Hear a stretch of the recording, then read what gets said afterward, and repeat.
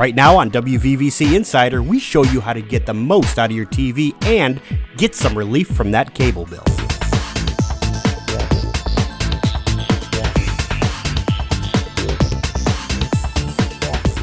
This year, the average American will pay $123 a month for cable TV. That's up from $80 just five years ago. And prices are continuing to rise.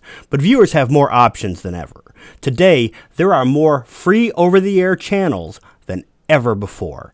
In the Utica area alone, there are more than 16 free over the air channels. You only need a TV with a digital tuner and an antenna.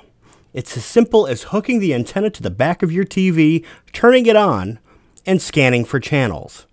And for those who plan to keep their broadband internet, you can supplement free TV with an inexpensive paid service like Netflix. In the end, consumers could save 50 to 100% on their monthly TV bill. That's today's WVVC Insider.